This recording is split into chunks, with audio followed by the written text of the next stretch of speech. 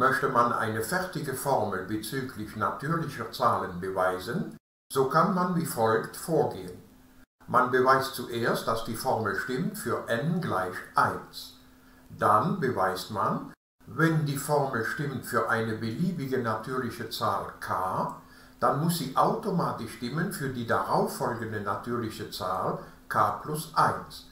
Und somit hat man dann bewiesen, dass die Formel stimmt für alle natürlichen Zahlen. Warum? Weil man ja bewiesen hat, dass die Formel stimmt für 1 und man bewiesen hat, dann muss die Formel auch stimmen für die darauffolgende natürliche Zahl, also für 2. Also stimmt die Formel für 2. Dann muss sie auch stimmen für die darauffolgende natürliche Zahl, also für 3. Also stimmt die Formel für 3, dann muss sie auch für 4 stimmen.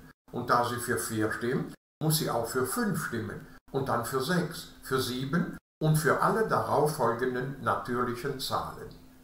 Dieses Beweisverfahren kann man schön vergleichen mit aufgestellten Dominosteinen. Zuerst beweist man, dass der erste Stein umfällt. Dann beweist man, wenn der Stein mit beliebiger Nummer k umfällt, dann muss der nächste Stein mit Nummer k plus 1 ebenfalls umfallen und somit hat man dann bewiesen, dass alle Steine umfallen werden. Wieso? Weil der erste ja umfällt, muss der darauffolgende umfallen, also fällt der zweite Stein um. Dann muss aber der darauffolgende ebenfalls umfallen, also fällt der dritte Stein um, also auch der vierte und auch der fünfte und dann der sechste, der siebte, der achte und somit hat man also bewiesen, dass alle Dominosteine umfallen. Übertragen auf die Formel bedeutet das, dass die Formel gültig ist für alle natürlichen Zahlen. Wir werden dieses Verfahren, das man Beweis durch vollständige Induktion nennt, anwenden, um diese Formel zu beweisen. Wir beweisen diese Formel zuerst für n gleich 1. Wenn n 1 ist, dann geht das Summenindex j von 1 bis 1. Das heißt, diese Summe reduziert sich dann auf den ersten Term c 1 plus 1, 2. So.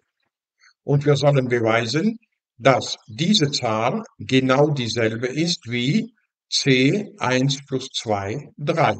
So. Aber das hier ist c2, 2, das heißt 1, und das hier ist c3, 3, das ist auch 1. Diese Gleichheit stimmt also dann und genau dann, wenn 1 dasselbe ist wie 1, was offensichtlich korrekt ist. Somit ist die Formel für n gleich 1 bewiesen. Wir nehmen jetzt an, dass die Formel für n gleich k richtig ist. Das heißt, wir haben diese Gleichheit als Induktionshypothese und werden anhand dieser Hypothese beweisen, dass die Formel auch richtig ist für n gleich k plus 1. Wir werden also beweisen, dass diese Summe für j von 1 bis k plus 1 genau dasselbe ist wie c k plus 1 plus 2, 3. Und um das zu beweisen, zerlegen wir diese Summe zuerst mal in den k ersten Termen, denn j geht dann von 1 bis k, und den letzten Term, wenn jk plus 1 ist, addieren wir hinten dran. So. Warum machen wir das? Weil wir wissen, dass diese Summe für j von 1 bis k gleich ist zu dieser Zahl.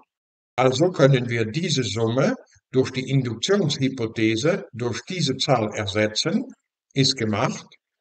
Und jetzt könnte man weiterrechnen mit den Fakultäten, aber wer die Formel von Pascal kennt, kann sie hier sofort einsetzen und sieht, dass diese Summe gleich ist zu ck plus 3, 3. Und diese 3 können wir noch umschreiben in 1 plus 2.